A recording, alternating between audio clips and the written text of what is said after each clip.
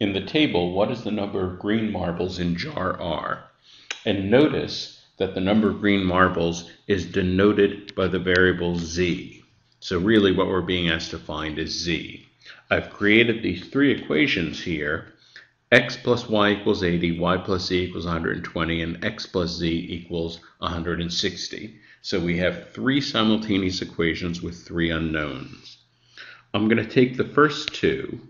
I'm going to take the middle one, y plus z equals 120, and I'm going to subtract from it x plus y equals 80.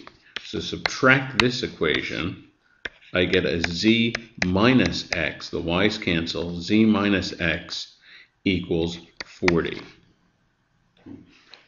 And now I'm going to add this to the third equation. I'm just going to write that in the form of z plus x equals 160. So now the x's cancel. I get 2z equals 200. z equals 100. And this is the answer choice we seek. This is answer choice D.